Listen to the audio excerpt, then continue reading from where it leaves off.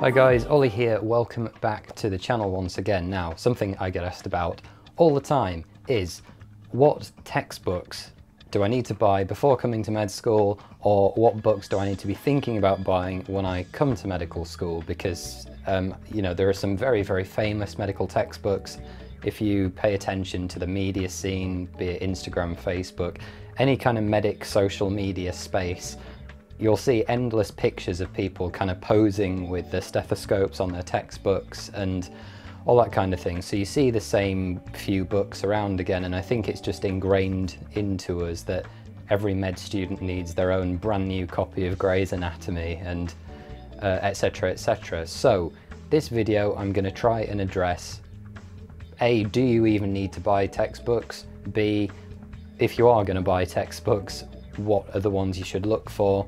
And C, I'm just going to make a few kind of off the wall recommendations as well. And I'm going to break this down by the parts of the course that the textbooks will typically apply to, be it general medicine, um, anatomy, more specific physiology, things like that. So it'll just be broken down and put into sections. So the very first thing I want to address is do you need to buy textbooks? And I think the answer to that now is a resounding, unequivocal no, you do not need to buy textbooks to go to medical school. Academic textbooks are incredibly expensive and because the whole market that surrounds them makes them very expensive. As I said before, I think it's often felt that, you know, going to medical school or even just going to do any kind of degree, you should have your own copy of the core textbook.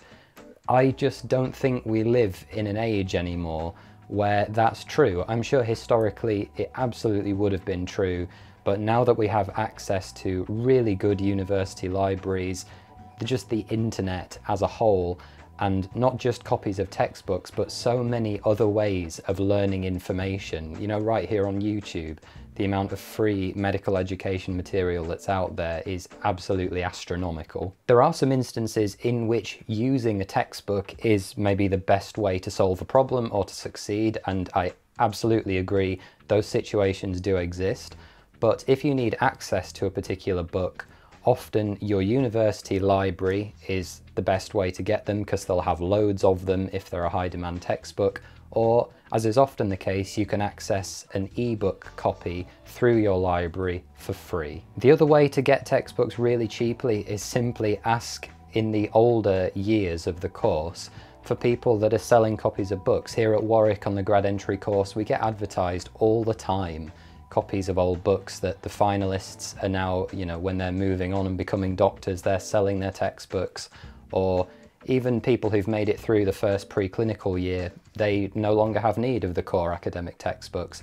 And just looking on places like eBay, Amazon Used, just places like that, there are often super, super cheap or free places to access textbooks. So basically, no, if you don't want to, I don't think that you ever need to buy a brand new copy of any textbook. So with all that said, I'm now going to tell you about my favourite textbooks, a couple of which I do own copies of, but I've never bought a brand new one.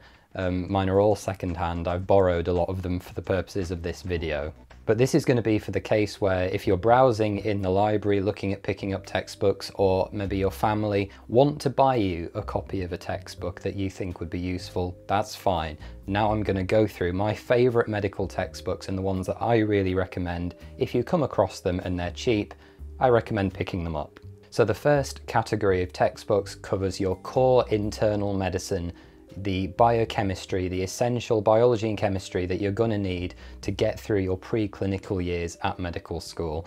The ones here are going to be no surprise to anyone that I recommend, but they are firstly Kumar and Clark. This is the one I engage with most regularly. It's, I think, the best place to get you through your core medical curriculum. It's the big standard player in the game, so you really can't go wrong with a copy of Kumar and Clark. The other core textbook you might like if you don't get on with Kumar and Clark is Harrison's Principles of Internal Medicine. I've also found that to be very useful. Then two kind of slightly more niche ones, but still recommended if you can find them cheap, are Rang and Dale's Pharmacology, I really dislike pharmacology um, because I just find it really dull, unfortunately, but Rang and Dale, I think, is the, again, the classic standard core textbook that goes into the right amount of detail for everything you need to know about clinical pharmacology. Then the last one of these, just again for preclinical years only really, is molecular biology of the cell. I did my undergrad degree at Newcastle in molecular and cellular biology. Um, and this was the core textbook, Molecular Biology of the Cell. Again, it's, it's pretty niche. There's not a huge amount of that, at least for my own course in med school. But for anyone doing biomed or who's doing a full five or six year medical degree, it might be more useful to you than it was for me. And then the last general medical book that I recommend everyone probably have a copy of if it's cheap is the Oxford Handbook of Clinical Medicine. This tiny little yellow pocket-sized book you see everywhere in hospitals, not just with medical students, but doctors as well. It's a really handy, just quick reference guide for virtually anything you could want to know about, whether it's diagnostic features, side effects of drugs, or pathways for treatment, or recommendations for investigations. You really can't go wrong with having this thing by your side on the wards. So now we're getting into books that I actually have copies of, or at least I have them here with me, and this is a, as the kids would say, thick book with as many C's as you like. This is Gray's Anatomy for students. As I feel Kumar and Clark is to internal medicine, Gray's Anatomy is to anatomy. There's a reason why it's the most kind of enduring anatomical textbook in the world. There are a few different versions of it. Um, the student-focused version is the best one if you are looking for a copy because it often comes with the uh, online edition as well, which is worth having for reference but the core anatomy for virtually any medical school curriculum will be, in some degree, probably based on what's in Gray's, so you really can't go wrong. Now, just some other ones that I don't have copies of to hand, but I think are really good if you can come across them. Um, one is McMinn's and Abraham's Anatomy Atlas, I think it's called. Peter Abrahams, I believe, kind of took over anatomy teaching at Warwick um, some time ago. I've had the good fortune to meet him a couple of times, really, really knowledgeable anatomist, and that comes across in the book. It's a really, really handy, very image heavy reference guide.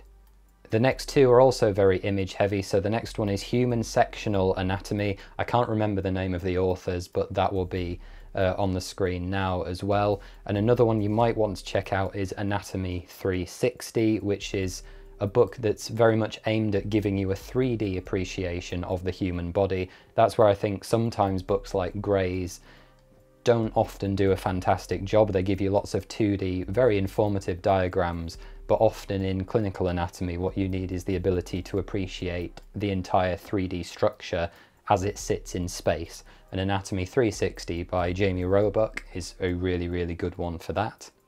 And again, Jamie Roebuck is one of the uh, very, very good teaching staff here at the University of Warwick.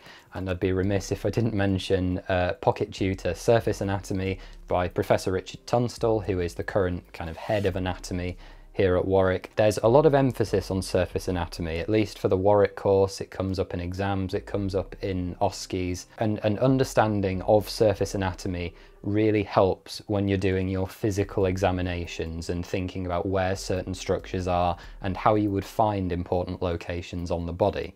And in terms of dedicated surface anatomy books, you're really not going to get much better than one written by someone who is a leading expert in the topic. So that's the kind of core medicine out the way. We've covered the basics of anatomy, physiology and pharmacology in the form of Rang and Dale. The other big element to getting through medical school, as I've just kind of hinted at, is passing the physical clinical examinations, the OSCEs and the OSLERs. So again, I'm showing a bit of kind of internal bias here, but this is the first clinical skills textbook I want to talk about, Practical and Professional Clinical Skills by John Morrissey and Professor Vinod Patel.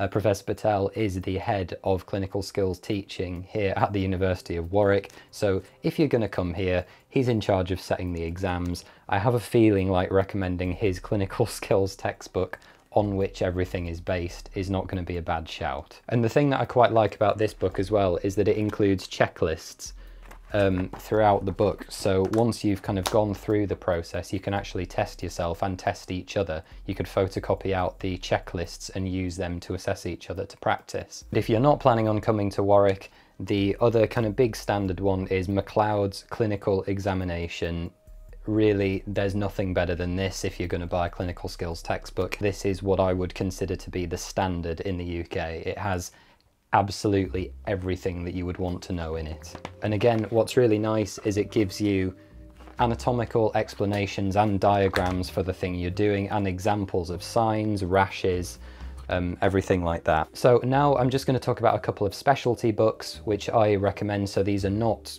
core medicine um, by any stretch, but if you're interested in these subject areas or you want a bit of extra help, you really can't go wrong. So the first one is the ECG Made Easy. This again is one of the standard ECG teaching books and you can often get it super cheap now if you find it secondhand.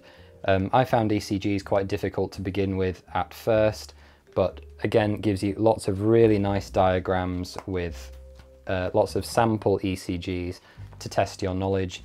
Because the way I feel about ECGs is that there's a very rigid and structured way of learning to interpret them.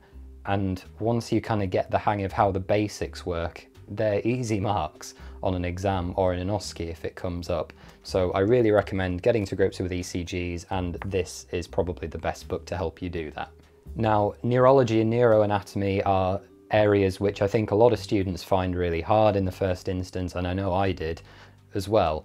Um, so there are two books I want to recommend for neurology and neuroanatomy. The first is Neurology and Neurosurgery by Dr. Dawn Collins. It's one of the Eureka textbooks, who is quite a big uh, publisher of textbooks. Dawn teaches the neuro block here at Warwick Medical School, and this is written by um, herself. She's an expert in neurology and neuroanatomy as an academic and um, a neurosurgeon based nearby. And it really covers all bases and explains the often very complex um, problems in a way that I think is very easy to understand. So that's a good place to start. And the other one is Crossman's Neuroanatomy. This is much more neuroanatomy and neurosurgery focused, but I think to be honest, having both of them together, having access to online copies made my Block 3 experience a lot easier, and I continue to use them to refer to whenever I'm doing anything um, when I'm trying to get into neurosurgery all the time. Another thing I found quite difficult in the beginning was learning to interpret radiological images, and this is the best book that I've found to do that, uh, Recognizing the Basics, Learning Radiology by William Herring. And what I specifically like about this book is, as with all good medical teaching, it starts with a focus on what is normal. And you can see here, this is just looking at the normal cardiac anatomy on a chest x-ray. So you start with the basics. This is you know, these are the structures you should be looking for, and then here are why they might be deranged. So these last few books that I want to talk about are just kind of off the wall other books that I've found really useful if you come across them, but they're absolutely not essential by any means. So the first ones are the 100 Cases In book series. These are almost like being quizzed by, um, by a consultant on the wards. They'll give you a patient presentation, sort of say, what do you think it is? and then they'll guide you through what the patient actually has and how you should manage them, how you should differentiate it from other conditions. And on a similar vein, the Crash Course series of books, these are all split into lots of different books based on specialty. So there might be ones in dermatology, pediatrics, neurology, cardiology. Um, if you're into a particular area of medicine and you're wanting a bit of a challenge, they're a really good place to go and get that. There's a few from the Made Ridiculously Simple series, so I think there's clinical pharmacology and neuroanatomy um, made ridiculously simple. I think those are the ones I've read. I don't know whether there are others, um, but they're really good as well. For certain more complicated things, it's really good at making them ridiculously simple and using lots of good analogies to help explain them. And then uh, one that's relevant to me, I'm about 90 days out from sitting my second year exams, which will be the last ones I sit before finals. Can you imagine that? Is the complete SAQ study guide. Um, med school exams are often a mix of multiple choice and short answer questions. There's usually no extended essays, um, if anyone's worried about that. But SAQs are a bit of a weird beast. You have to be very prescriptive with your answers, and the complete SAQ study guide is a great way to get used to the type of answers that you're meant to give for these situations. So that's it guys, that's my look at the best medical textbooks that I recommend if you can pick them up cheap. I'm going to reiterate one more time, you do not need to buy medical textbooks. I really, really fervently believe that. All of the ones that I've talked about are great if someone wants to buy you a gift, or if you come across them used or very cheap, or if you simply have kind of extended interest in the subject area. Like, I'm really into my anatomy, a copy of Gray's is something I might be willing to spend 50 or 60 pounds on, except I'm a poor student, so I'm not going to do that. But you see my point. Buy them if you're interested, buy them if they're cheap. Don't ever feel pressured to spend lots of money on expensive textbooks. It's a waste of time and money. But I'd love to know down in the comments, do you have any textbooks that you'd recommend that I've not talked about or which textbooks on my list have you found indispensable in your med school journey? Take care guys, be sure to go and check out postgradmedic.com for more videos and resources just like this and I will see you in the next video. Bye for now.